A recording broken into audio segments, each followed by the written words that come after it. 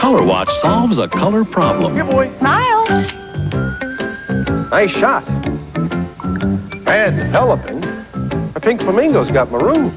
The lawn looks terrible. An old spot was always true blue, but this is ridiculous.